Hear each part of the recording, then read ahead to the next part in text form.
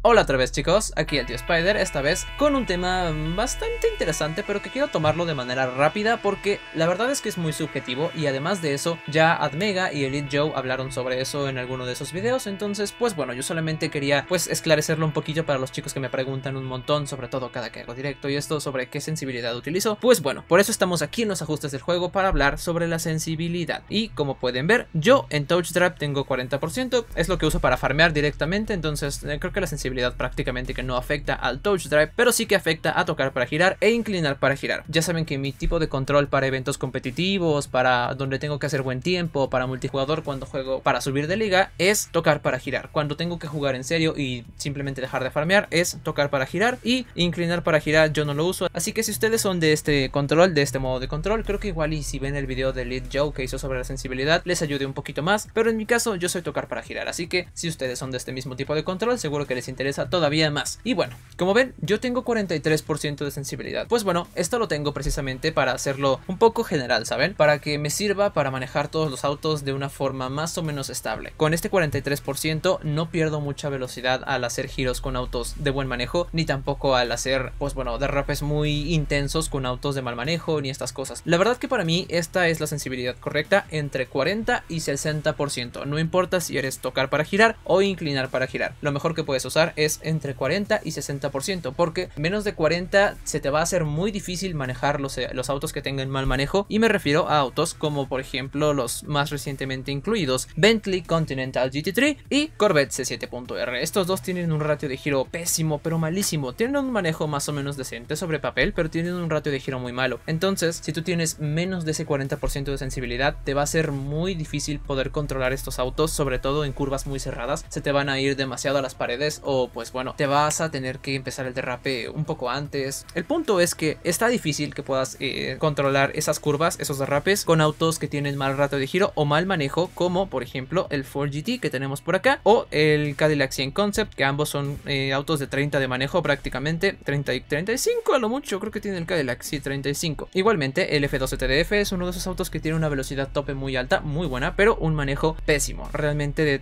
37 es, es muy malo, pero la cuestión está en que precisamente por eso son autos difíciles de manejar. Igual que el, TBR Griffith que tenemos por acá en clase D. Sí, este también tiene un manejo malo, pero eh, lo que hace malo o lo que hace difícil de conducir al TBR Griffith es más la eficiencia de nitro y la aceleración que el manejo. Entonces, pues bueno, también tiene un ratio de giro medio decente, no tan malo como el Continental o el C7.R, pero a lo que me refiero con esto es que con menos de 40 de sensibilidad, todos estos autos que mencioné te van a ser más difíciles de controlar. Sí que puedes, sí que vas a acostumbrarte, obviamente, pero te va a ser más difícil. Y en el caso contrario, en el caso de que escojas más de 60% de sensibilidad, pues bueno, los autos que son de un manejo mucho más elevado te van a ser mucho más difíciles de controlar. Los autos de manejo bajito, pues sí que te van a ser más fáciles de controlar, pero los de manejo alto, cosas como por ejemplo el el Corvette Grand Sport, que es uno de los autos que la mayoría de nosotros podemos tener gratis, ya saben, en casas de coches y todo eso. El Corvette Grand Sport, el Vantage también contaría, el Huracán, por supuesto que los Reyes de clase B, el Huracán, el 911, el Carrera GT, todos tienen un manejo muy bueno, excepto el, el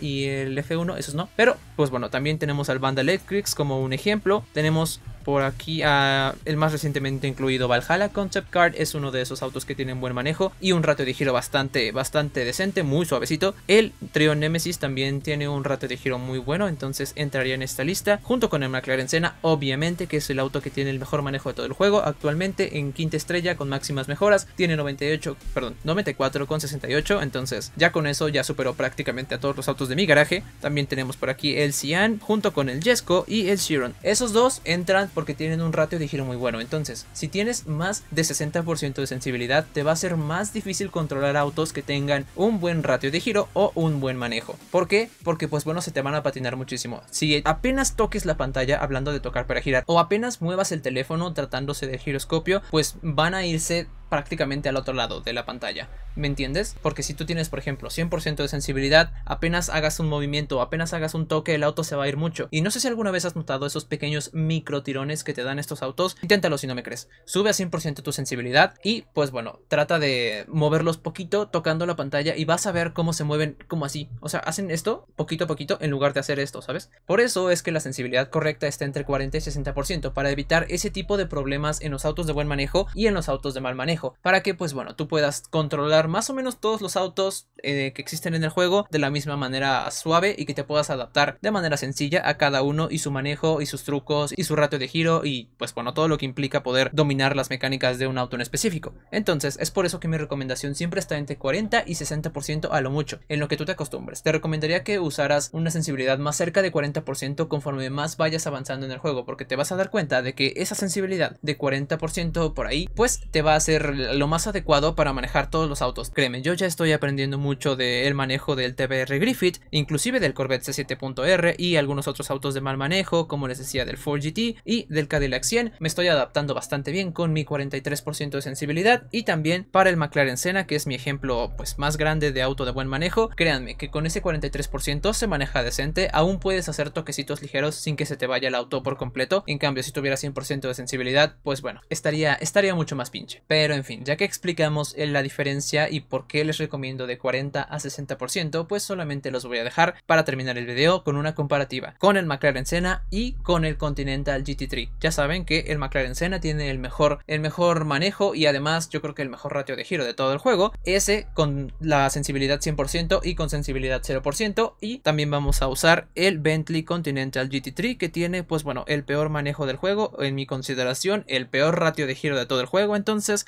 por eso lo vamos a tomar. Vamos a usarlo pues para hacer la comparativa entre estos dos autos con 0% de sensibilidad y 100% de sensibilidad. Primero les voy a poner una carrera con los dos con 0% y después una carrera con ambos con 100% de sensibilidad para que vean más o menos las diferencias. No va a ser una carrera normal, voy a estar tratando de dar muchos movimientos bruscos y tomar las curvas pues bueno de maneras un poco más eh, marcadas para que vean cuál es la diferencia ¿no? y cómo se comportan. Entonces pues bueno, se quedan con esa comparativa para terminar el video. Hoy no les dejo consejo del día, los dejo con esa comparativa y estas pues bueno dos carreras. Como sea, ahora sí, nos estamos viendo en el siguiente video. No se olviden de seguirme en Twitter, Instagram o donde sea. Les dejo mis redes sociales, ya saben, están en el banner del canal y aquí abajo en la descripción. Ahora sí, los veo entonces en la siguiente.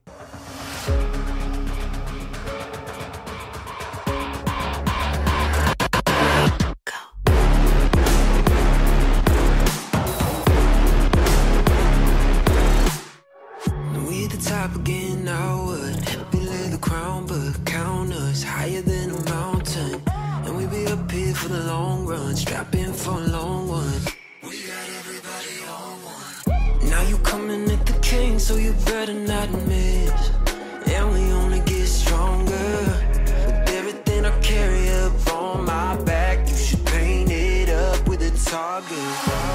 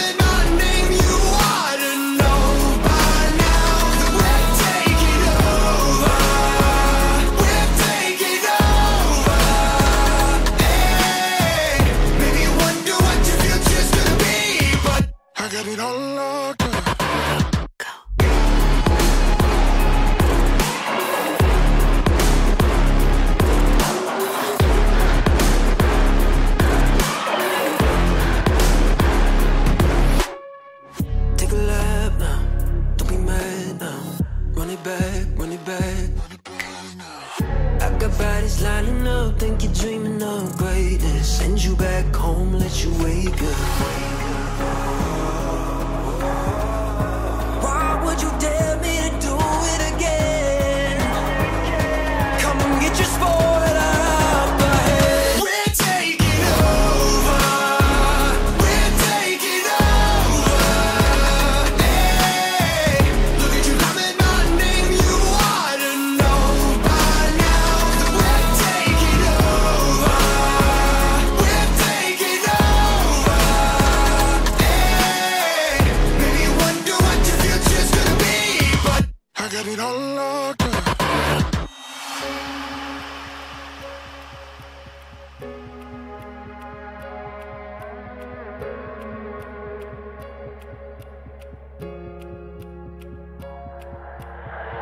在以后除了是傻子还有其他吗？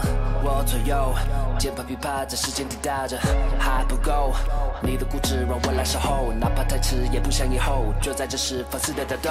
I got the heart of a lion, I know the harder you climb, the harder you fall. I'm at the top of the mountain, too many bodies to count. I've been through it all. I had to weather the storm to get to the level I'm on. That's how the legend was born. All of my enemies already dead and born. I'm ready for war. They know I'm ready for war. I told them.